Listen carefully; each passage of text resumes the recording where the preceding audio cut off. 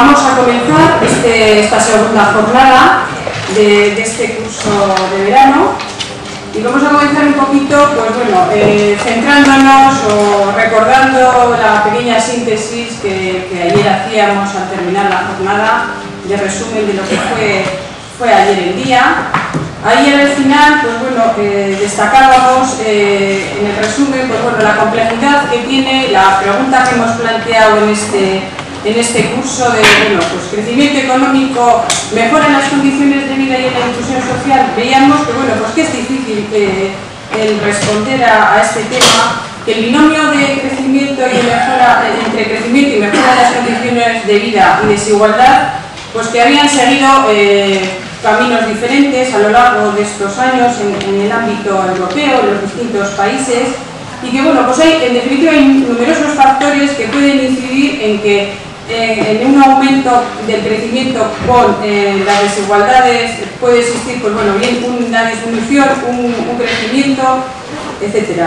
Y también nos movimos y dimos un poco respuesta a las distintas teorías que había sobre el tema y cómo inciden también las políticas que se habían implementado en cada uno de los países. También concluíamos, eh, bueno, en esta pregunta eh, que tiene un poco de trampa, ¿no? que sí que había una evidencia por los datos que presentábamos de que verdaderamente en esta época de crecimiento económico ha habido un aumento eh, de, las, condiciones de vida materiales, eso era, bueno, era evidente, que no hay una respuesta tan clara en cuanto a, crecimiento económico y si, mejoraba o no eh, las condiciones de vida, porque más que todo que habían cambiado las condiciones de vida, eh, que habían generado nuevas aspiraciones y, bueno, y nuestra sociedad, en definitiva, nuevos problemas. Entonces, bueno, que quizá no se podía responder si estamos mejor o peor, estamos en otra situación distinta. Y por último, ya enlazando más con el tema de hoy, sí que también eh, se veían datos, eh, cierta medida de cómo eh, con el crecimiento económico en todos estos 20 años, pues la inserción social, el gasto social, sí que había una evidencia a través de los datos de que había un mayor gasto en este sentido. Y bueno, hoy ya enlazando con el tema, hoy va a ser un monográfico y vamos a analizar pues más con más detenimiento pues, la relación entre crecimiento económico e inserción social que ha pasado durante estos eh, últimos 15, 20 años. Y para esto, pues bueno, eh, vamos a, tratar el tema desde distintos puntos de vista. En primer lugar, eh, vamos a analizarlo desde, desde, lo que se ha hecho, desde las políticas implementadas por los responsables en esta materia y para ello, desde luego, tenemos pues, bueno, el privilegio de contar con, pues, bueno, con, el, eh, con el consejero Joseba Azcárraga, consejero de Justicia, Empleo y Seguridad Social del Gobierno Vasco, y por dar una breve reseña de, sus, eh, pues, su currículum, podemos decir eh, que fue diputado en las Cortes Generales Españolas, senador en Madrid, eh, miembro del Grupo Mondragón Corporación Cooperativa, eh, director del sector público de la Caja Laboral. También fue miembro de la ejecutiva de Suna durante dos etapas y actualmente ostenta el cargo de secretario general del partido. Es participante e impulsor de, Global Action Agenda for the Prevention and Armed Conflict, así como de diversos foros de paz y reconciliación ha participado en un gran número de eventos institucionales relacionados con la paz y con los derechos humanos y en el ámbito de la inserción social y el empleo ha participado activamente firmando numerosos eh, convenios de colaboración. Y sin más, cedo la palabra al consejero y Eskerrik asko, da, egunon, eh, nik tamén eskerrak eman zuet Euskal Herriko Universitatea, dituen hasta hauetan, parte hartzea amiratzea. Ogore handia da niretzat eh, hemen egotea eta azaldu bat izatea eh, zein den gure gizarteratze eredua eta gizarte mabeserako eredua. Itzerri honetan azalduko dut eh, zeintzun diren gure sistemaren aurrekariak euskal ereduaren zaurregiak, maitzak, sistema eh, aldatzko proposamenak eta planteatu ditugun erronkak Europarekin bat txeko ikusi izango zuenez, e, gai garrantzitsuak e, ditu, e, nola familiaren egoera, lana eta familia ostatzea, gizarte azterketari eta pobreziari nola egin aurre, prestazio ekonomikoak eta zerbitzuak edo etorkinen egoera, eta zeintzuk diren lanean sartzeko dituzten zeintasunak azken batean lanean sartzea izateratzeko bermea. muy buenos días a todos ustedes. En primer lugar, en euskera, muchísimas gracias por la amable invitación a participar en este curso organizados por la Universidad del País Vasco. Es para mí un honor estar aquí y poder explicarles cuál es nuestro modelo de inserción y de protección social. Durante mi intervención, que será aproximadamente unos 50 minutos, o menos, creo, yo quiero abordar los antecedentes de nuestro sistema, pero quiero también hacerlo hablando de las características del modelo vasco, de los resultados que ese modelo vasco ha venido desarrollando en los últimos años, de las propuestas de reforma y también de los retos que tenemos planteados para la plena y total convergencia en futuro. Como verán, eh, abordaré cuestiones como la situación de la familia, la situación de la conciliación laboral y personal, o laboral y familiar, la lucha contra la exclusión social y la pobreza, las prestaciones económicas y los servicios, la situación de las personas también inmigrantes y la inserción laboral, en este caso como el gran garante, como el principal garante de la inclusión eh, social. Los antecedentes de nuestro actual modelo de garantía de ingresos para las personas en situación de riesgo de exclusión social se remonta a finales de los años 80, eh, bueno, a 1989 eh, concretamente, cuando el gobierno vasco aprobó el ingreso mínimo mm, familiar, que luego pasaría, además de otra forma, se llamaría ingreso mínimo de inserción, tras la aprobación de la ley 2 mm, del 3 de mayo del año 90, Posteriormente, esta ayuda eh, se extiende y mejora a través de su regulación por la Ley 1298 de la Seguridad Social del 22 de mayo y actualmente, como saben ustedes, se denomina eh, renta básica tras la aprobación por parte del Parlamento Vasco y por amplia mayoría de la Carta de Derechos Sociales que se aprobó en el año 2000, en el mes de diciembre del año 2000. Por lo tanto, la preocupación de las administraciones públicas vascas por el problema de la pobreza, por el problema de la exclusión social, no es algo que, que nace ayer, sino que es una preocupación que se remonta eh, a la de los 80 por la implementación embrionaria de lo que conocemos como renta básica. Esa renta básica nace como una conquista social, nace como un derecho para decir a quienes tienen más dificultades eh, y evoluciona en cantidad y calidad gracias también a la política social progresista que se ha ido llevando a cabo por las instituciones vascas y que la sociedad vasca yo creo que ha respaldado de manera eh, mayoritaria, por lo menos amplia.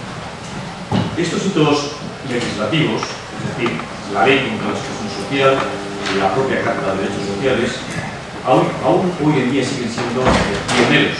en los programas de las sociales más progresistas en el contexto de los países más avanzados de nuestro entorno. La situación de la renta básica en nuestra comunidad autónoma en el año 2008 no se puede en cualquier caso valorar eh, adecuadamente sin eh, hacer una prueba muy repaso, muy breve, eh, un repaso de la evolución que ha la renta básica de nuestro país. Quiero decirles que, por ejemplo, entre el año 1989 y entre el año 2007, la cuantía de la prestación para una persona sola ha pasado del 55% del salario mínimo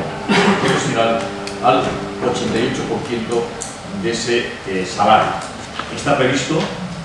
mantener eh, con carácter general dicho porcentaje de cobertura del 88%, pero una excepción, que es novedad y que lo aprobamos hace 10 eh, días en el Parlamento Vasco,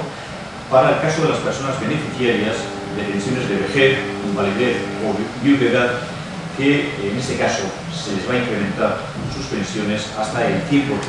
del SME. Yo creo que se aprobará un día de estos en el, aparecerá publicado en el boletín oficial del País Vasco, por lo tanto, al siguiente día estaré ya en vigor. Yo creo que la próxima semana ya estas personas podrán percibir ya el 100% del salario mínimo en eh, Y en cuanto a la reducción del gasto en renta básica, hemos pasado de los 4,22 eh, millones de euros del año 89 a los 168 millones y medio que eh, la Administración ha gastado en este renta básica en el año, eh, a finales del año 2007. En esos años, por tanto, se ha multiplicado por 7,2 el número de perceptores, se ha pasado de 4.091 unidades convivenciales que teníamos en diciembre del año 1969 a 29.586 que eh, hemos tenido en diciembre del año 2007, o, si se prefieren ustedes, ha habido 36.004 unidades convivenciales que han percibido la prestación al menos en uno de los meses de ese año. Los recursos económicos destinados a financiar esta prestación se han multiplicado por 40, eh, pasando de 4,2 millones de euros a 168,5 eh, millones de euros en el año 2007. Por tanto, desde el punto de vista económico, desde el punto de vista del número de personas que aceptan positivamente la aplicación de la renta básica, el cambio yo creo que ha sido espectacular en un espacio de tiempo relativamente eh. Se ha, se ha quintuplicado la aportación anual por beneficiario, que ha pasado de 1.032 a 5.697 euros anuales. A nivel estatal, nuestra comunidad es la que mayor cuantía eh, destina por persona a la renta básica, se destina 616 eh, euros cuando la unidad convivencial es de una sola persona, de un solo miembro. Frente a ella, eh, Navarra ocupa el segundo lugar con 480 euros, Madrid está por debajo de la media con 650 euros y luego Cantabria está en, el último lugar con 276,83 euros. La media estatal está en 394,58 euros eh, para una unidad convivencial de un solo eh, miembro. Asimismo, en ese mismo periodo de tiempo, las ayudas de emergencia social, como saben ustedes, es aparte de las ayudas eh, institucionales, que son complementarias a la renta básica, también han experimentado un incremento del número de beneficiarios en un 366% y los recursos destinados a su financiación se han incrementado también en un 552%. Aunque parezca una declaración de perogrullo, eh, podríamos haber elegido eh, otro modelo de protección social. Bueno, lo hemos elegido el que tenemos. Es un modelo de protección social que parte de la idea de que el crecimiento económico debe redundar en el progreso y en la calidad de vida para todas las personas, pero que debe prestar una especial atención a la protección de los sectores eh, sociales más desfavorecidos, con criterios fundamentalmente de justicia, pero con criterios también de solidaridad y fundamentalmente con criterios de cohesión social. En esta línea,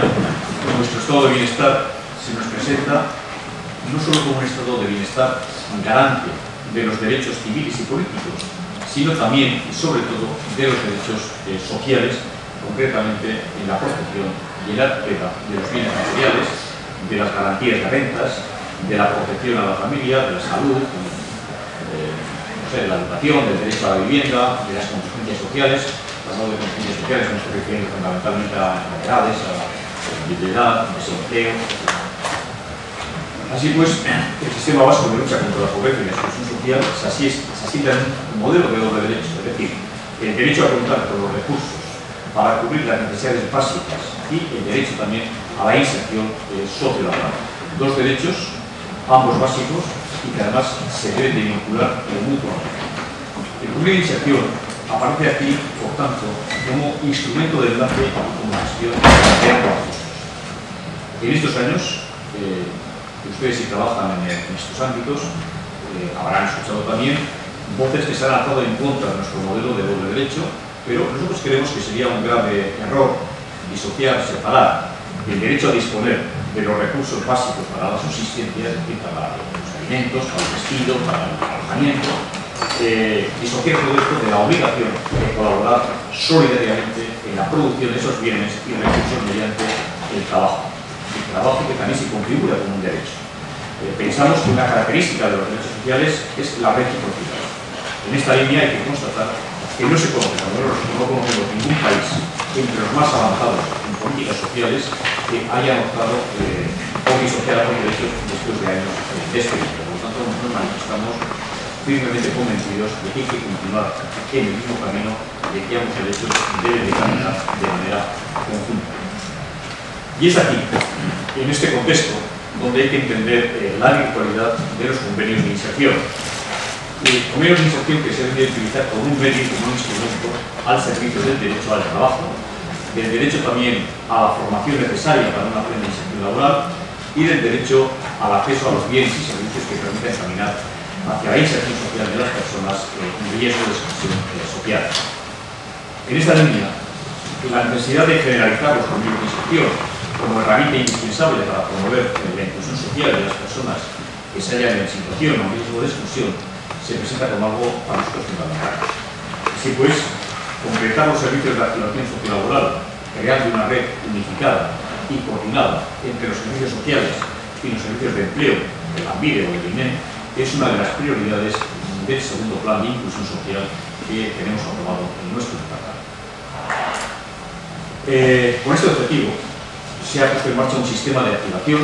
para la inclusión configurado con los siguientes programas. Por un lado, tenemos el programa Ausolan para la inserción laboral de las personas en situación o en riesgo de exclusión. Quiero indicarles que en el año 2007 eh, han participado 48 entidades con un total de 700 beneficiarios y un coste de 8,1 millones de euros. Por otro lado, tenemos el programa de ayudas para la creación y sostenimiento de las empresas de inserción. En este programa estaban registradas 50 entidades en el año último del año 2007, con un coste anual de 7,4 millones de euros. Desde la creación de este programa en el año 2003 se han financiado en total 321 puestos de trabajo para personas en proceso de inserción. Y otra cuestión importante son los programas de incentivos al empleo. De hecho, los sistemas de inserción social eh, más avanzados en Europa ven en esos incentivos al empleo una motivación positiva para la integración en el proceso productivo de aquellas personas que son perceptoras de rentas. Creemos que siempre, eh, estamos convencidos, que siempre va a ser mucho más positivo que la persona encuentre oportunidades en el trabajo y se le incentive para el trabajo que el que, que permanezca inactiva percibiendo una protección económica. Por eso nosotros lo que hacemos es incentivar el empleo con programas a medio y largo plazo para que estas personas accedan al sistema productivo y al sistema de bienestar social. De esta forma, eh, hacemos compatible renta básica y trabajo y damos un impulso a la inserción laboral mejorando los niveles de vida de las personas con más dificultades. Bueno, nos engañamos siempre a uno que le interesa mucho más estar siempre durante mucho tiempo eh, el ámbito de la prestación económica sin pasar y sin compatibilizar con el ámbito del empleo. Pero yo creo que mayoritariamente la inmensa mayoría de las personas está deseando poder compatibilizar ambos sistemas, es decir, el, cubrir sus necesidades básicas, pero también intentar la inserción social-laboral para eh, valerse en definitiva a través de sus propios recursos. Como prueba del impulso que nuestro departamento ha dado al incentivar el empleo en estos colectivos, es la evolución positiva que han tenido estos programas en los últimos eh, cinco años. Por ejemplo, en el año 2003, los contratos eh, subvencionados a personas en riesgo de exclusión fueron 619, eh, con un importe de subvención aproximadamente de 1,7 millones de euros. De estos contratos, de los 619, quiero decir, 335 se realizaron a personas con discapacidad por un importe de 472.000 euros. Y en el año 2007, el número de contratos subvencionados alcanzó los 1.093, por lo tanto ya ven ustedes también que se ha incrementado de manera considerable. El importe de la subvención también ha pasado a ser 5 millones eh, de euros y de estos contratos, eh, de los 1.093, 571 se realizaron a personas con discapacidad con un gasto eh, de 1,7 millones de euros. Por lo tanto, se incrementa en todos los aspectos. Es verdad que en materia de empleo, en los últimos años se han producido dos sucesos eh, importantes. Por un lado, en positivo, la, destacada disminución de las tasas de paro. Es decir, hace cinco años, en el año 2003, teníamos una tasa de paro, mm, según los datos del Eustat, del 8,6% y en el primer trimestre de este año, por el contrario, ha sido del 3,3%, por lo tanto estamos en cifras de paro técnico. Luego hablaremos también del tipo de empleo que tenemos, ¿eh? pero respecto al porcentaje la tasa de empleo, estos son los datos que tenemos. ¿no? Y luego hay otro elemento que tenemos que tener en cuenta y que hay que destacar, que es el crecimiento del empleo. Si en el año 2003, eh, en este mismo periodo, la tasa era del 63,5%, con 892.000 personas ocupadas,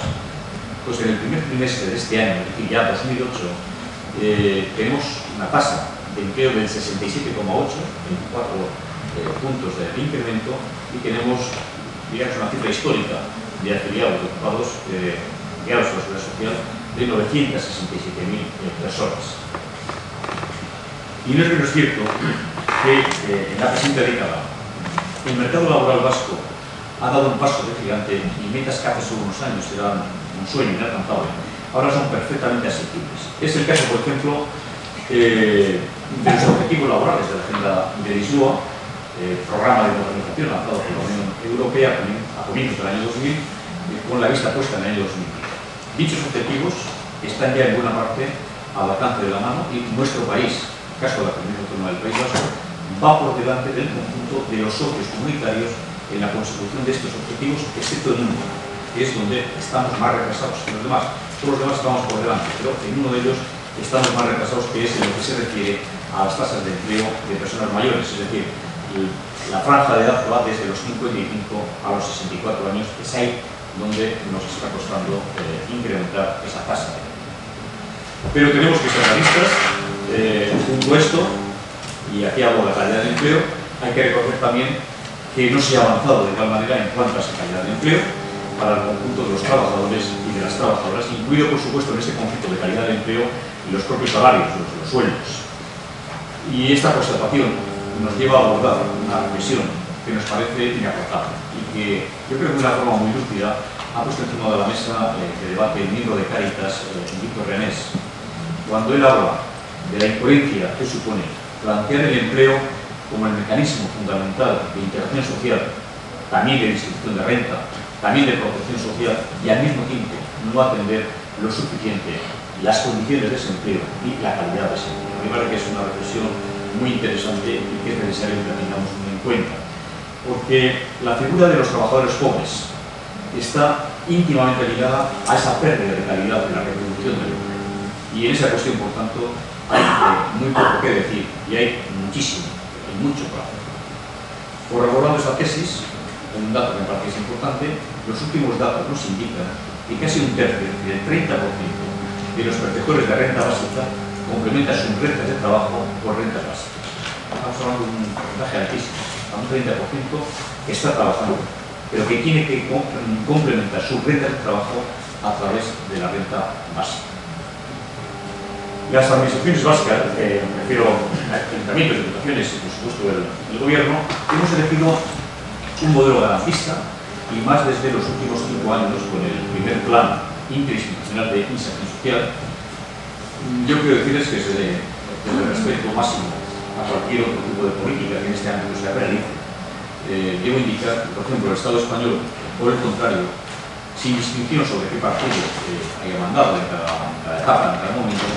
ha elegido desarrollar un modelo diferente, ha elegido desarrollar un modelo residual de bienestar social, un modelo que ignora los derechos sociales, que convierte la protección social en asistencia social que estigmatiza a los usuarios. Esto explica, por ejemplo, que el Estado español sea el país de la Unión Europea que menos porcentaje del PIB destina a la lucha contra la exclusión social, destina el 0,19%, nuestra comunidad autónoma destina el 0,45 y la media de la Unión Europea se sitúa en el 0,39%.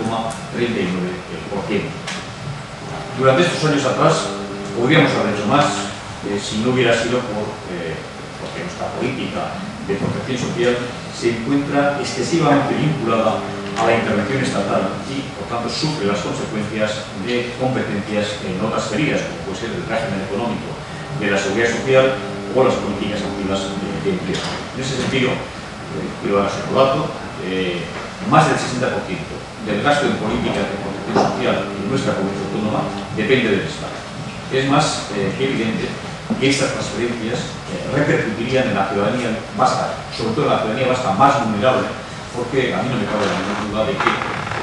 cuanto mayor sea la, cantidad de todo gobierno, mayor también será la capacidad de bienestar, lo menos aquellas competencias que han sido transferidas desde la Comunidad Autónoma del País Vasco se han ido destinando a la educación, a la sanidad, se ha demostrado que eh, ese concepto de mayor, mayor autogobierno, más capacidad de bienestar, es una realidad. Necesitamos, y esa es la reflexión que hacemos, un nuevo impulso, es decir, necesitamos un nuevo marco vasco de relaciones laborales para poder adaptar nuestras políticas de empleo a los intereses de los trabajadores, pero también a los intereses de las empresas vascas y para crear un sistema de protección social integral e integrado, un sistema que sea más justo, que sea más eficiente, eh, que evite la fragmentación de la protección social actualmente existe. este es el momento, desde nuestro punto de vista, de establecer una administración laboral cercana a nuestra realidad social, una administración laboral que cuente con instrumentos idóneos para abordar con éxito el reto de la creación de empleo y que este sea un empleo, como comentábamos antes, de calidad y empleo con derechos, desde el realismo del presente y mirando al futuro, creemos que ahora es el momento de dar eh, un gran salto adelante en la construcción de lo que nosotros venimos denominando como la Euskadi social, la Euskadi de los derechos sociales. No obstante, y a pesar de estas limitaciones a las cuales yo me he referido, el País Vasco, a través de las diferentes instituciones, porque yo hablo en nombre del gobierno, pero cuando doy datos los hablo datos globales de los ayuntamientos, datos de las diputaciones y datos nuestros, pues bien, el País Vasco a través de esas instituciones destinó, según los últimos datos oficiales de, de que son datos del 2005, un total de 10.884 millones de euros al sistema de protección social, es decir, a la salud, a la familia, a las personas discapacitadas, a la tercera edad, a la vivienda, a la lucha contra la exclusión social. Bueno, este esfuerzo en política social ha hecho que el gasto en protección social en el País Vasco sea de 5.156 euros por habitante frente a los 4.362 de la media del Estado español. Esto supone una diferencia, como veis, superior al 18%. Estos datos demuestran, en nuestro caso, lo que venimos repitiendo desde hace años y que yo he recordado hace un momento, ese concepto de mayor total de gobierno, mayor nivel de bienestar, eh, eh, porque al final cuando existe una voluntad política efectiva para que así sea, es la que tiene ya ha demostrado el gobierno vasco, que tenemos que tener esa capacidad porque la voluntad la venimos demostrando en el día a día. Una realidad que, en mi opinión, debemos de transmitir a la sociedad de una forma eh, nítida para contrarrestar tanta falacia y tanto estudio también trucado. Entonces, queremos contar por mayor autogobierno, más soberanía, para tener así los instrumentos necesarios para ser aún más eficaces en la resolución de los asuntos cotidianos, de los asuntos tangibles, los asuntos palpables, de que aquellos que preocupan a los hombres y mujeres en el día a día, que en definitiva son los asuntos propios de la ciudadanía. Otra diferencia en el tratamiento de las políticas sociales fue la decisión del gobierno vasco, a instancias de nuestro propio departamento, de vincular la renta básica al salario mínimo interprofesional, favoreciendo así a los perceptores de esta Frente a esto, el Ejecutivo Español lo que planteaba, lo que nos pedía era vincular la renta básica al IPREM, es una nueva eh, formulación, a un índice inferior en cuanto a cantidad y en cuanto a calidad de la pesca. Nosotros optamos por seguir fieles a los principios que han orientado nuestro sistema de inserción, basado en un auténtico compromiso social con los que menos tienen,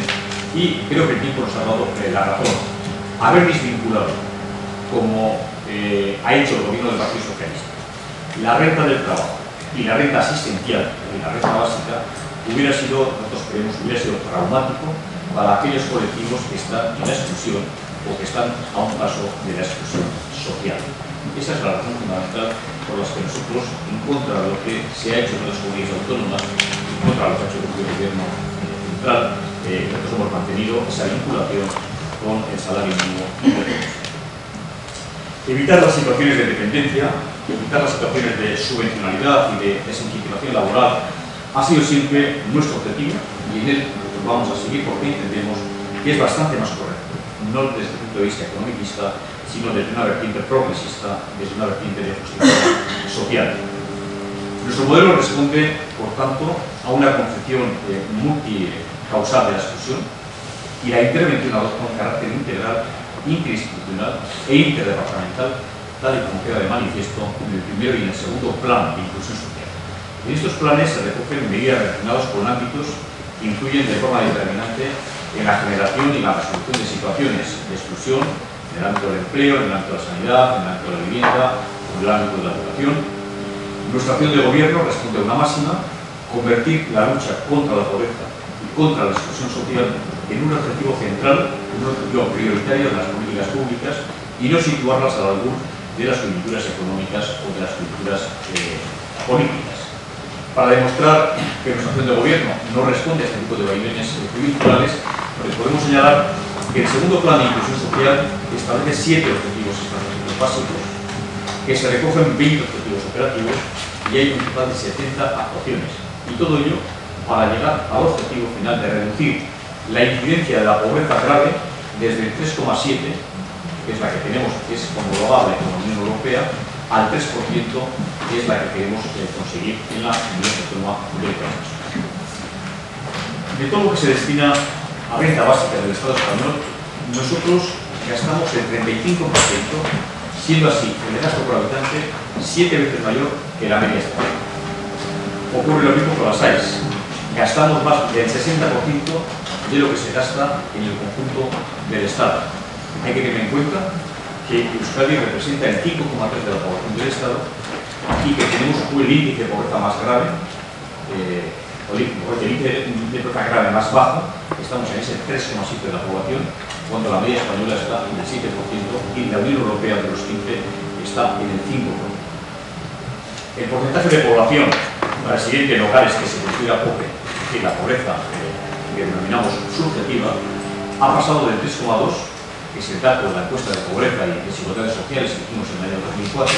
ha pasado al 1% según la encuesta de demanda de servicios sociales y beneficiarios sociales del año 2006. Además, la proporción de personas en hogares que se sienten en situación confortable aumenta de forma importante y pasa del 43,9 del año 2004 al 58% en el año 2006. Asimismo, los hogares con situaciones de privación multidimensional que afecta a distintos aspectos de la cobertura de sus necesidades, necesidades básicas me refiero, ha decrecido y si en el año 2004 afectaba al 3,9%, en, el año, en el año 2006 baja hasta el 2%. En términos absolutos, disminuye de 80.000 personas a poco más de 40.000 personas, por lo tanto, yo creo que es una evolución también muy interesante y que tenemos que tener en cuenta. En esa misma estadística se recoge que en el año 2006 el 91,6% de la población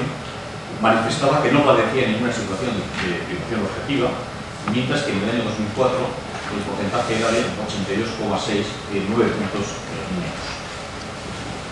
Bueno, a la luz de estos datos, y a modo de resumen,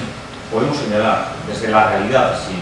ningún tipo de autocomplacencia, porque todavía el camino a recorrer es un camino eh, largo, que en los últimos años hemos dado en el ámbito de la Comunidad Autónoma del País Vasco un buen impulso a la construcción del Estado de bienestar.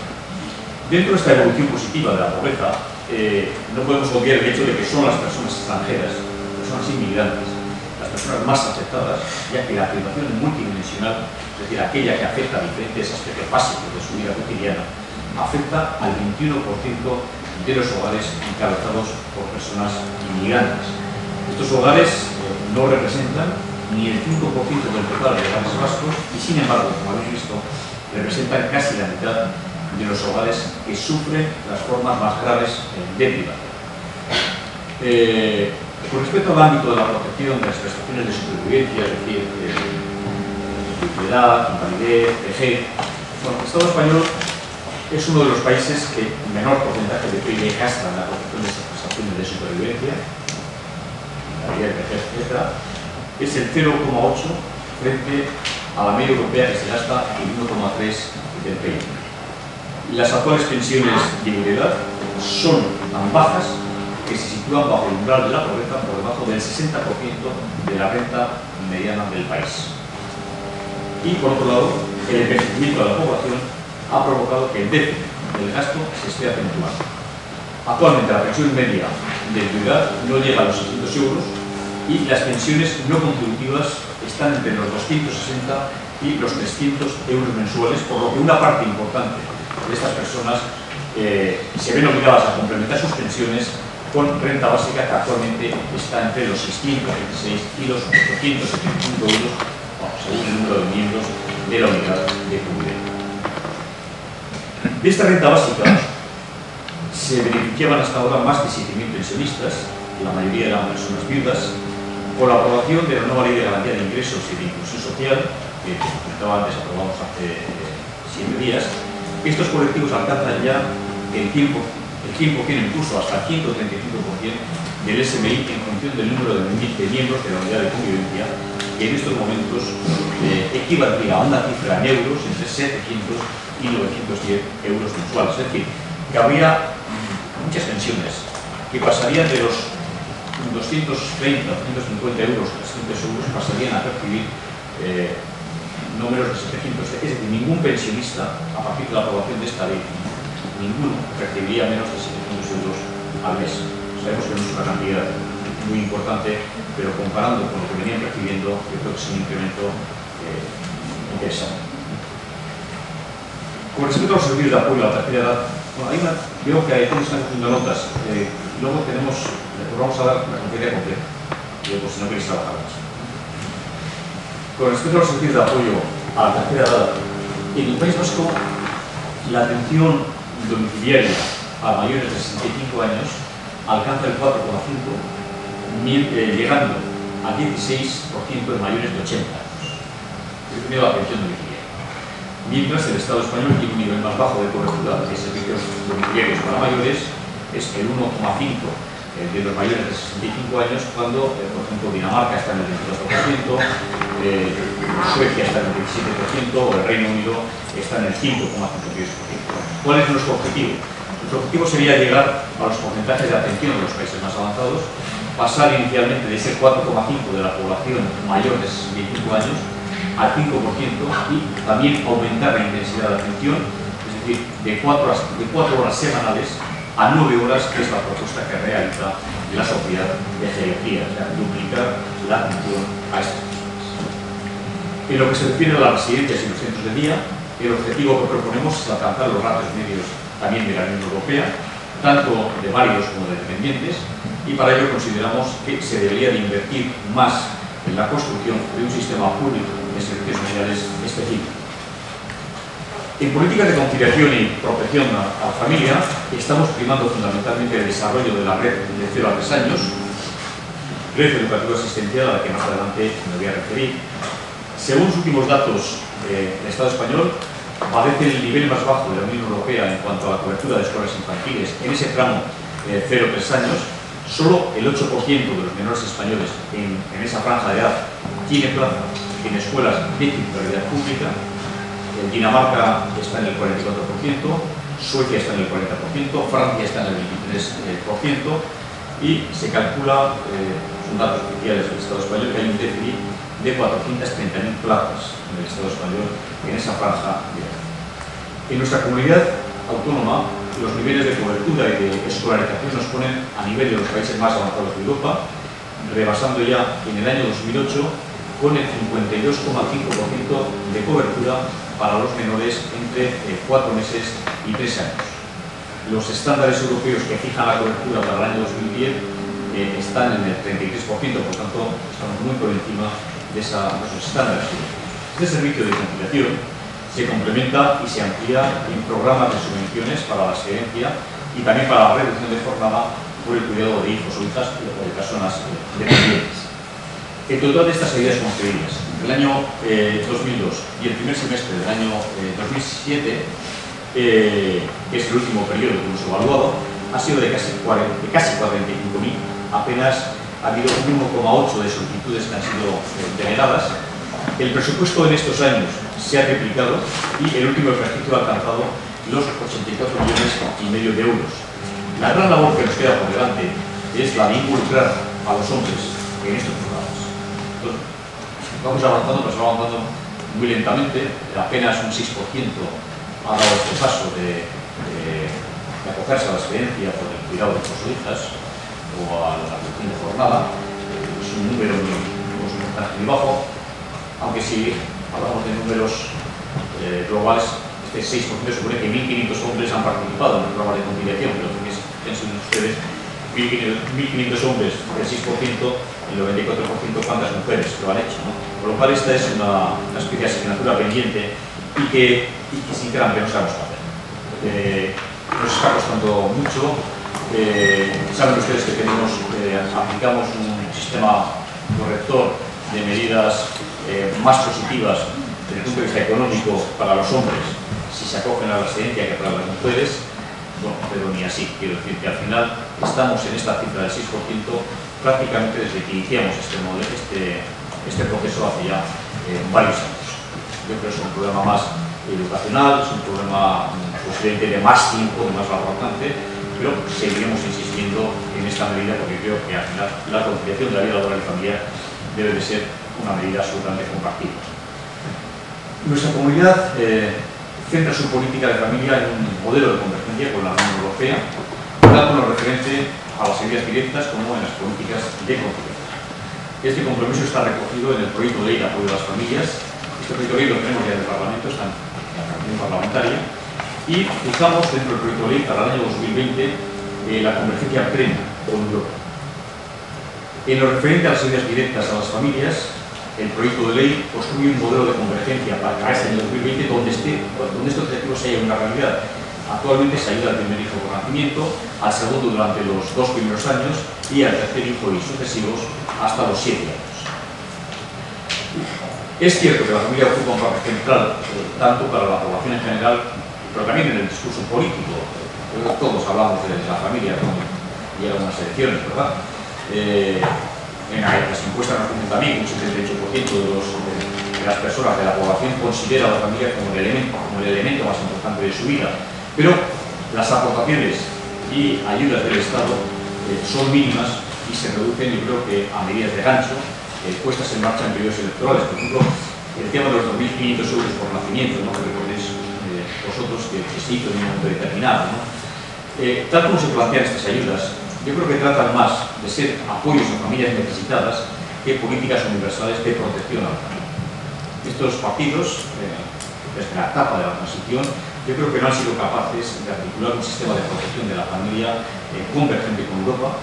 que no han puesto en marcha planes para construir este sistema de protección y que por lo tanto eh, no existen eh, compromisos ni intención de poner en marcha a corto y medio plazo políticas integrales de protección a la familia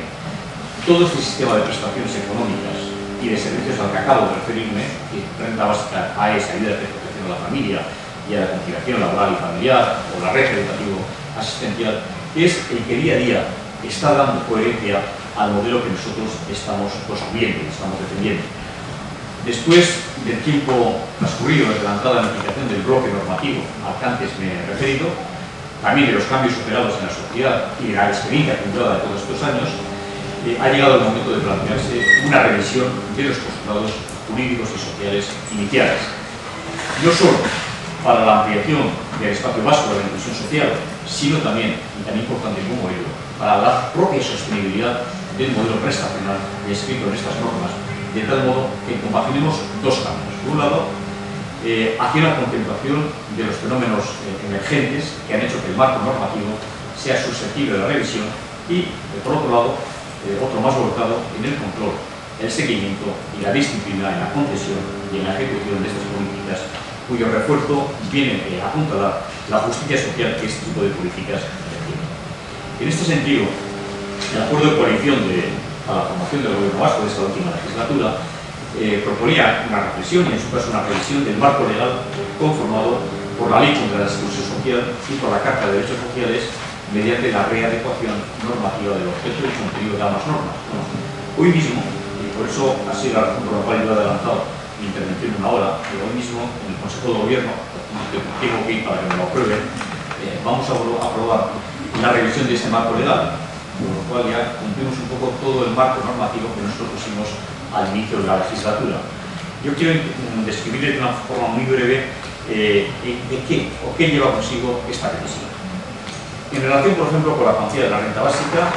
primero, la consolidación de la cuantía de la renta básica en el 88% del SMI. Segundo lugar, el incremento de la cuantía, como comentábamos antes, hasta el 100% del SMI para receptores de pensiones.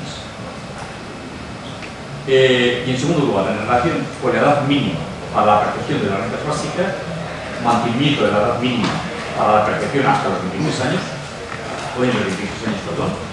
inclusión de nuevas excepciones para mayores de edad y menores de 23 años, incluyendo aquellas situaciones y casos de especial necesidad que se acuerden y que serán desarrolladas reglamentariamente por el Gobierno vasco con, con posibilidad a la aprobación de la ley.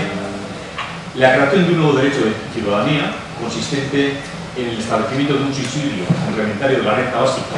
para sufragar las necesidades relacionadas con la vivienda de las personas titulares de esa prestación, es decir, para sufragar alquileres, intereses y gastos de armonización de créditos, es el, lo que venimos hablando del complemento de viviendas, que ya lo aprobamos hoy, y además de la configuración también de un nuevo complemento para las familias monoparentales. Estas son las partes fundamentales que recoge eh, la ley. También el mantenimiento del carácter existencial y temporal de las AES, de las ayudas de emergencia social, sin perjuicio de la adecuación de la naturaleza de los contenidos que ahora son sufragados con este tipo de ayudas, dotando a dichos programas de recursos suficientes para financiar dichas prestaciones. ¿Qué pasaba hasta ahora? Nosotros que algunos de ustedes trabajan en los ayuntamientos, o los de los ayuntamientos, eh, con las AES. Las AES eh, eh, tienen un límite presupuestario. Cuando las AES eh, llegan a los ayuntamientos, hay ayuntamientos que intentan eh, repartir lo que corresponde anualmente para todo el año. De tal forma que van repartiendo poco a poco esas y hay muchos ayuntamientos que eh, reparten los primeros meses eh, lo que tienen y luego se quedan sin nada. ¿Por qué ocurre esto? Porque la mayor parte de las AES, casi el 80% de, eh, del montante económico de las AES, venía siendo destinado a vivienda. Estaba permitiendo, yo creo que el sentido originario de las AES. A partir de la aprobación de, esta ley que aprobamos hoy, lo que va a ocurrir es que el complemento de vivienda es ya un derecho subjetivo, es un derecho que tienen los ciudadanos y que sale de las AES. Pasa a renta básica y por lo tanto las AES únicamente van a ser destinadas a aquellas necesidades urgentes, en fin, a las razones para las cuales se crearon en su. En el terreno de la protección a la familia, yo quisiera recordar que el Gobierno se comprometió a elaborar también al inicio de la legislatura una ley de familia. Bueno, el, día 1 de abril el Gobierno aprobó el proyecto de ley de apoyo a las familias, eh, ahora está en, el Parlamento en su debate, es un texto que garantiza el sistema de protección a la familia que venimos eh, construyendo a partir del primer plan de familia del año 2002, de 2005. Eh, nosotros somos la única comunidad del Estado que ha establecido y que ha desarrollado un sistema de políticas integrales de familia tan ambicioso y tan concreto. Esta es una aseveración que yo digo con sinceridad que podemos realizar con una legítima satisfacción. En este punto a mí sí me gustaría recordar cómo el sistema vasco de apoyo a las familias se construye sobre dos ejes principales. El primero de ellos hace referencia a las ayudas directas por nacimiento, adopción o acogimiento de hijos, así como para su eh, mantenimiento. El segundo se refiere a las prestaciones y servicios relacionados con la conciliación de la vida laboral y familiar las ayudas para el cuidado de los hijos e hijas de 0 a 3 años, las excedencias, las reducciones de jornada, los cuidados de, de personas dependientes, etc. Estos son los dos pilares fundamentales. La ley cuyo desarrollo tiene un coste estimado para el trienio 2008-2010 de 1.700 millones de euros proporciona fundamentalmente dos grandes avances. En primer lugar, garantiza la percepción de las ayudas a la familia y por primera vez las convierte también en un derecho subjetivo, para es un avance importantísimo. Eh, en ese sentido se trata, por lo tanto, de una ley garantista del sistema de protección y junto a estas ayudas económicas por el nacimiento y mantenimiento de hijos e hijas, esta ley es garante igualmente de las medidas de conciliación entre la vida laboral y la vida familiar. Y la ley pone en marcha iniciativas novedosas como por ejemplo la creación de un consejo de familia, la puesta en marcha del observatorio de la familia, la configuración de nuevas medidas de conciliación como son los programas de educación y tiempo libre dentro de los centros de enseñanza en horarios extraescolares y periodos vacacionales, la regulación de un sistema de estandarización de la renta familiar. Cuando hablo de esta estandarización de la renta familiar, queremos decir que cuando una subvención está condicionada a la renta de familia, esta se modula tomando en consideración el número de miembros, lo que hace que el sistema sea un sistema bastante más equitativo. Y en segundo lugar, supone un compromiso de convergencia con la praxis de la Unión Europea, tanto en el sistema de ayudas como en los servicios de conciliación.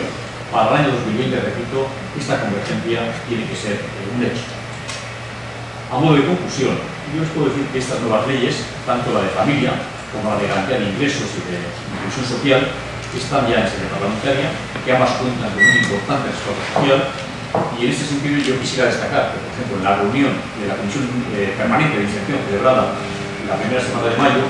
el anteproyecto de ley de garantía de ingresos y de inclusión social, que es el que aprueba el Gobierno, contó con el respaldo unánime de la Comisión, en la que están presentes, eh, además de las instituciones, las asociaciones más importantes eh, que trabajan en el campo de la inserción y los cuatro sindicatos más representativos, ¿verdad? Yo no recuerdo, no Oviedo, si el consejero, recordará eh, que alguna vez hayamos sacado en una comisión de estas características que hayamos obtenido el respaldo unánime de quienes conforman nuestras comisiones eh, y en esta ocasión se ha, se conseguido. Por lo tanto, imagino que en el Parlamento llevará un trámite similar. Bueno, y los retos. ¿Cómo preparamos el futuro? Hoy en día la sociedad vasca ha alcanzado un estado de evolución social que demanda eh, un abanico concreto de servicios sociales, también de prestaciones, sobre todo en el ámbito mm, del desempleo, de las personas mayores, de las personas dependientes, de la inmigración. Concretamente, creemos que el envejecimiento de la población y el aumento de las personas dependientes exigen un incremento de prestaciones económicas y también de servicios especializados. Y en estos momentos eh, creemos que es más importante que nunca defender eh, cada uno de su propio ámbito de responsabilidad política o de responsabilidad institucional y los derechos sociales que consideramos irrenunciables desde el punto de vista de las políticas sociales eh, progresistas y que inspiran nuestra acción política para garantizar que el progreso de la sociedad no sea en realidad el progreso de unos pocos, sino el progreso de todos, sin resquicio para la exclusión social de nadie. Esta necesidad de avanzar en la construcción social de nuestro país eh, pasa inexcusablemente por algunos pasos. Primero, dar pasos profundos en nuestra convergencia con Europa en gasto social y en el desarrollo de las prestaciones y servicios sociales dependientes de las instituciones básicas. En segundo lugar, es importante impulsar la universalización progresiva de la renta básica y consolidar y hacer progresar su cuantía adaptándola a la evolución del salario mínimo interprofesional. En tercer lugar, es importante reforzar los mecanismos de inserción, de seguimiento y también de evaluación de los resultados y, por supuesto, también del control de las ayudas. Cuarto lugar, impulsar la armonización y la vertebración territorial en el conjunto de las prestaciones sociales, creando un sistema único e igual donde todos los ciudadanos y ciudadanas tengan el mismo nivel de protección de ayudas. ¿Qué quiero decir con esto? Es que un ciudadano de Guipúzcoa, en las mismas condiciones o situaciones que un ciudadano o ciudadana de, Vizcaya, no puede percibir cantidades diferentes porque las limitaciones de uno u otro territorio complementan la renta básica. A través de lo que hoy aprobamos, la ley que hoy aprobamos, lo que se hace es homogeneizar esta realidad. No se podrá complementar la renta básica en ninguna otra institución. no podrán complementar este tipo de ayudas, por lo tanto, todos los ciudadanos, cualquiera sea que sea el territorio donde vivan, percibirán la misma eh. En los próximos meses y en los, próximos años deberemos reflexionar sobre el papel que cada institución tiene en la gestión de las ayudas y cuál es la responsabilidad de cada una de ellas. En este contexto tenemos que aprovechar la modificación de ese marco legal, me he referido, es decir, la modificación de la ley contra la exclusión, de la Carta de Derechos Sociales, y sin duda es un paso que tenemos que dar en la puesta en marcha de la ley municipal de Euskadi para clarificar, entre otras cosas, eh, la función y las competencias de los ayuntamientos en el ámbito de la inserción y en el ámbito de la protección social, así también como la revisión, la modificación y la actualización de la ley de servicios sociales para poder construir un sistema integral definiendo los servicios y definiendo también lo que son las básicas. En esta línea, ya en el segundo plan de, inclusión social, eh, previmos en el ámbito de servicios sociales de base la necesidad de una ordenación de estos servicios que contemple tanto los recursos humanos como los recursos materiales y fijar los ratios eh, de profesionales y técnicos en función de las tareas asignadas en la propia ley de servicios sociales y en la ley de garantía de ingresos y de inclusión social. Ambas leyes está previsto eh, que se aprueben a lo largo de este año. Dentro de los necesarios cambios, siempre sin aceptar a la esencia del modelo, nosotros creemos que políticamente sería un enorme error y tiraría por la boca todo lo hecho hasta ahora. Plantear públicamente el debate o la cuestión de la renta básica como una cuestión solamente económica. Nosotros creemos que es básicamente una cuestión de protección de derechos sociales y de protección de, la ciudadanía y cuyo objetivo final debe de ser posibilitar a los sectores más vulnerables igualdad de oportunidades en el mercado laboral y en el sistema de servicios. Por tanto, repito, esto no es un debate económico, es un debate fundamentalmente de derechos sociales. Y yo creo que quienes han abierto este debate en la sociedad desde el punto de vista exclusivamente económico, creo que están haciendo un flaco servicio a los planteamientos progresistas que defendemos desde lo que denominamos eh, la Euskadi de los derechos sociales. Y a continuación, brevísimamente, y con esto ya voy terminando, quiero abordar la cuestión de la inmigración. Porque si hay una cuestión referida a los retos, esa es la de las personas que han llegado a nuestro país a labrarse un futuro económico, un futuro familiar, ¿no? Y eh, permítame una cuestión previa que tiene que, que ver con la ley de extranjería, antes de abordar cuál es nuestra opinión acerca de la situación de las eh, personas inmigrantes en relación con las políticas eh, sociales. A nuestro juicio, la ley de extranjería, debido a la falta de ordenación de los eh, flujos migratorios de entrada, lo que está haciendo es provocar grandes bolsas de inmigrantes en situación irregular, lo que impide que las personas en situación irregular o ilegal se puedan integrar social y laboralmente. A un ejemplo. Mira hace tres años o cuatro, nosotros nos pidieron el, el cupo, nos pidió el Estado, el Ministerios Exteriores y de Trabajo, el cupo de personas inmigrantes que nosotros calculábamos que en la Comunidad Autónoma del País Vasco íbamos a necesitar para eh, suplir la mano de obra. Eh, yo recuerdo exactamente que la cifra que se les dio fueron 10.063, para que no sé por qué fue lo de 63, ¿no? Dijo 10.063. Bueno, lo que se nos autorizó fueron 1.000 trabajadores, en vez de 10.063, que era la cantidad de trabajadores y trabajadoras que hubiéramos necesitado eh, mano de obra para nuestro país. ¿Qué ocurre? Que al final esos 10.063 trabajadores, claro, una cifra, pero más son, están ya, están ya aquí en nuestro país. No pueden trabajar, pero están percibiendo las ayudas sociales. Y cuando están deseando trabajar, cuando están deseando tener los medios económicos suficientes para labrarse su propio futuro. Por lo tanto, la, la ley de extranjería, desde nuestro punto de vista, no busca soluciones, sino que lo que está haciendo es condenar a la persona que viene de fuera, eh, en la mayoría de los casos, eh, a la exclusión y a la pobreza, pero también a la dependencia asistencial y a una situación de incertidumbre personal, y también jurídica. Para romper este círculo, que es un círculo vicioso, la capacidad para definir la residencia legal que hoy corresponde al Estado debería de ser compartida por las autoridades, por las autoridades Igualmente, eh, creo que nosotros, nuestro gobierno, otros gobiernos autonómicos, deberíamos de tener capacidad de decisión en la determinación de puntos. Eh, también en la capacidad de la contratación, el origen y en la normalización de las personas que se encuentran en situación irregular. Y de esta forma, desde nuestro país, podríamos desarrollar una política de atención integral en materia de inmigración, que es lo que ahora desgraciadamente no podemos hacer. Desde nuestra óptica, la política pública de inmigración debe asentarse sobre criterios sustancialmente diferentes. En este sentido, creemos que es urgente diseñar una auténtica política de inmigración basada, primero, en el respeto a los derechos humanos de todas las personas, de las personas inmigrantes. En segundo lugar, interiorización de un nuevo concepto de ciudadanía inclusiva que permita la plena participación de estas personas en la comunidad política, con residencia legal, coincidencia efectiva para quienes han venido a trabajar y a vivir entre nosotros y hoy día, al igual que otras generaciones anteriores a la nuestra, vivieron etapas anteriores, tuvieron que abandonar su país y buscar trabajo y cobijo por razones económicas o también por razones políticas en otros países eh, del mundo. Otro elemento importante parece que es la convivencia intercultural basada en el respeto al otro, teniendo como marco de referencia siempre el respeto de los derechos humanos y en nuestra opinión deben de deben de existir en todos los países de regiones, principalmente en la Unión Europea, unos mínimos básicos garantizados para que no se produzcan efectos llamada a que aquellos lugares que más se preocupan por ayudar a las personas que están en la exclusión o que están en una situación de pobreza. Yo no estoy aquí planteando eh, algo insolidario, muchísimo menos, al contrario, pues seguimos con las puertas abiertas eh, a la inmigración. Eh, lo que estoy diciendo es que las comunidades y regiones necesitan o necesitamos dotarnos de unos recursos económicos y presupuestarios mínimos. En la comunidad autónoma vasca fuimos y somos pioneros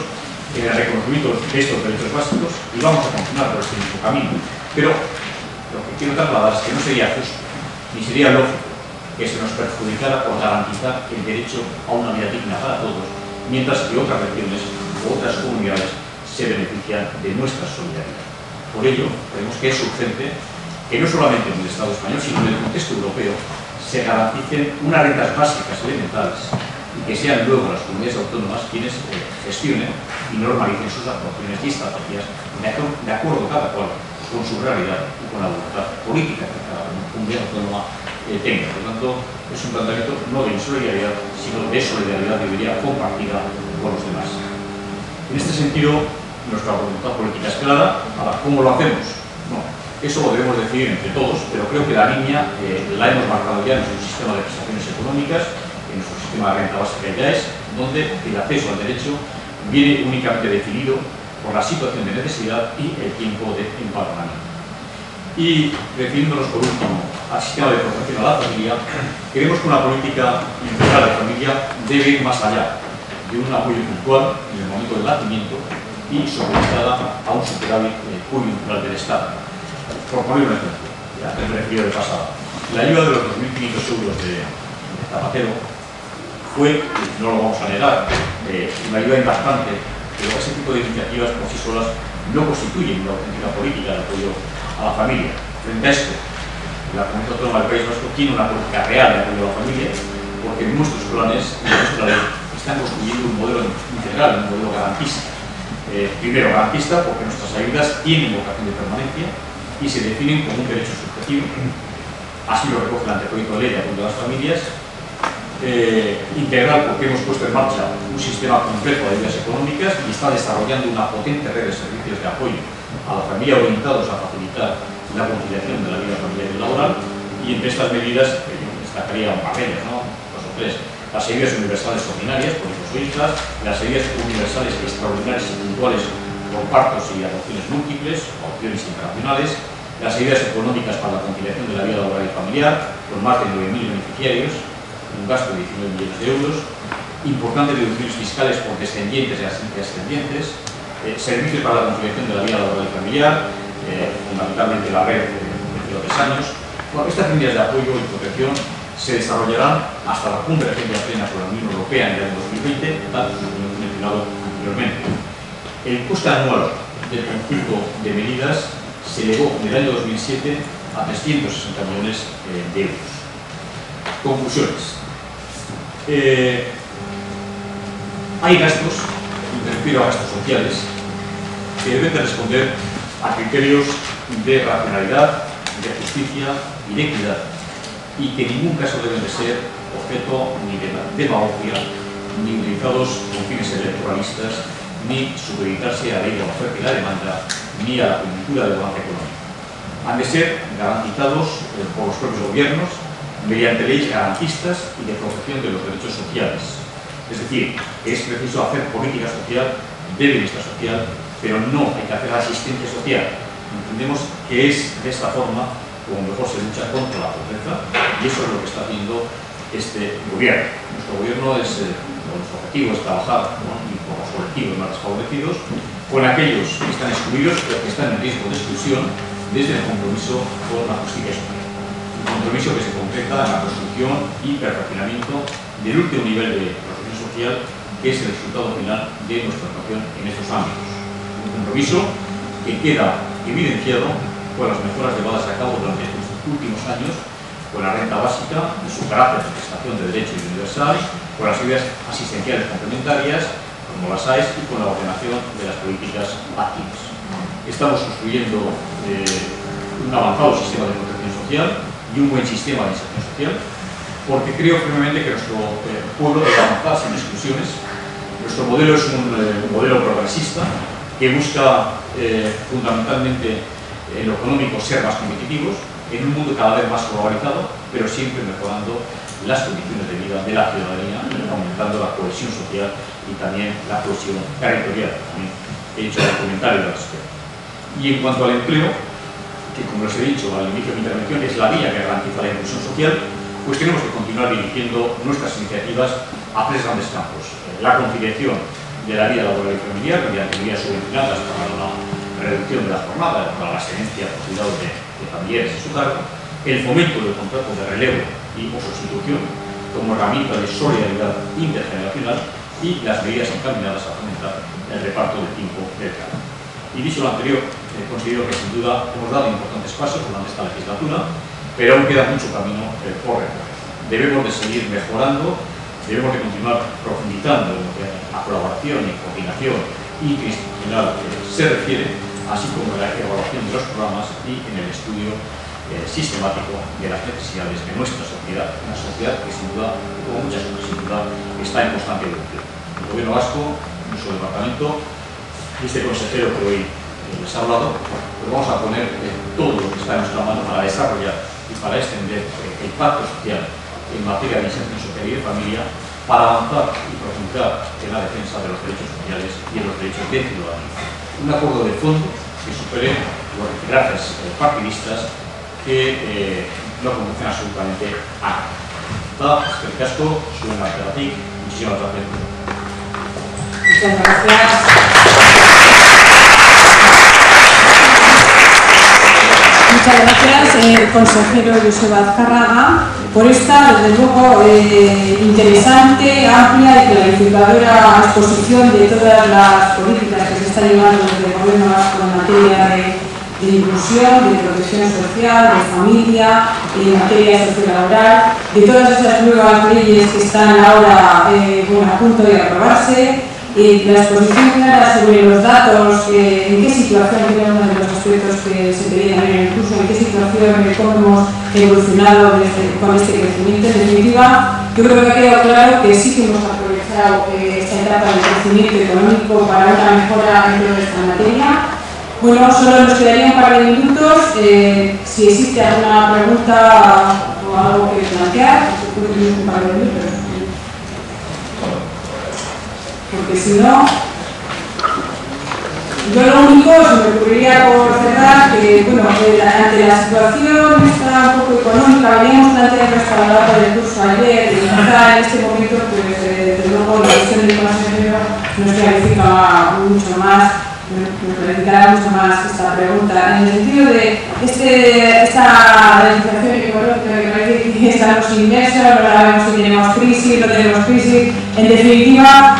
si todo esto va a ser un freno para todas las políticas que estábamos teniendo de mejora de los indicadores en, todas estas materias, puede llegar a afectar eh, el futuro de estas políticas de frenar en cierta medida o bueno, podemos tranquilos. Hay dos cosas. Sí, sí. Hay dos cosas. Una, que cuando marcamos, cuando decimos que son derechos subjetivos, es que esto no está a la luz eh, de las situaciones económicas del momento, esto es un derecho subjetivo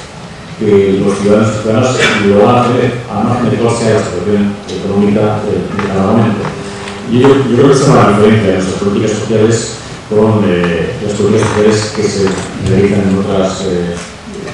en nuestros entornos próximos, ¿no? Por lo cual no hay, no hay que tener ningún tipo de preocupación. Ahora bien, sí que, yo sí que creo que estamos ante una crisis económica, que hay gobiernos que quieran, no hablar de crisis, la crisis económica afectada también por la crisis eh, mundial, pero ¿no? eh, Estados Unidos afectan a, a, lo que pasa en, en otras, eh, en Europa o pasa en el mundo, y, con la parte del petróleo y todas otras cosas. ¿no? Eh, hay una, un tema que sí, a mí sí me preocupa y que algunas veces lo hemos comentado. Yo simplemente lo voy a anunciar, porque yo creo que Dios pues sería el tema de un debate en profundidad más interesante. ¿no? Y nosotros tenemos eh, una sociedad, la sociedad vasca es una sociedad vieja, eh, tenemos un índice de natalidad que es el más del mundo y algunos ya no podemos dar más. Eh, otro, eh, la esperanza de vida, la seguridad, pues que ser la, la más larga que tenemos también en Europa, no está, no está para los tenéis, ¿verdad? Por lo cual, en un espacio de tiempo de 10, 12 o 15 años, bueno, ya, bueno, ya, ya está aquí, pero 10, 10 o 11 años vamos a estar en una situación complicada donde eh, vamos a ser, vamos a ser, van a ser muchos menos los que trabajen para, para, pagar eh, los servicios sociales de, de, los más. Esta es la situación que nosotros tenemos. Por tanto, la migración es un factor clave, importante para nosotros. Y, debemos de intentar abrir más las puertas a la migración porque es uno de los factores claves de solución de los problemas. Y, y otro, otro factor, cómo hacemos frente a todos los gastos sociales si eh, las obligaciones aportaciones de cada vez son menos en función de, los, de cuál es la eh, índice de natalidad y la de vida. Bueno, yo creo que hay muchas medidas. Eh, nosotros estamos desarrollando nuestro gobierno, nuestro eh, término, ¿no? Estamos desarrollando en, este, en, nuestro gobierno, nuestro departamento, un plan de previsión social complementaria que permita que los trabajadores y trabajadoras no comiencen a hacer planes de previsión para apuntalar y soportar el sistema de seguridad social pues ya cuando los trabajadores tienen 55 años, sino que comiencen con esos planes de empleo, son planes de empleo negociados entre eh, la empresa y los trabajadores a través del convenio colectivo y con el apoyo de la administración, comiencen alrededor de los 20 25 años cuando comienzan a trabajar, de tal forma que cuando termina su vida laboral a los 60 o fue en su momento, eh, y se viene cogiendo aproximadamente cada se reduce de percepción económica desde que de trabajar que comienza a cobrar la jubilación, sea complementada con esos planes eh, de, de, previsión de empleo. Yo creo, yo creo que ese es un poco el, lo que tenemos que ir haciendo, no está adelantamos a esta situación nos ve encima, porque está, por lo vamos retrasados, ¿no? No hay que esperar que todo esto esté encima para tomar soluciones, que tenemos eh, muchísimo antes, y nosotros intentamos hacerlo a través de estas fórmulas. Pero yo creo que la fórmula no es eh, para hacer frente a los gastos sociales, la fórmula no es eh, alargar la jubilación, a que trabajando los 70 años, eh, la fórmula tampoco es computar los periodos de jubilación eh, más largos, de los 10 últimos años, eh, computar los 20 años para cobrar una extensión. Yo creo que hay otras fórmulas, como la que nosotros estamos defendiendo, que puede ser, pero de cualquier las formas, y termino, eh,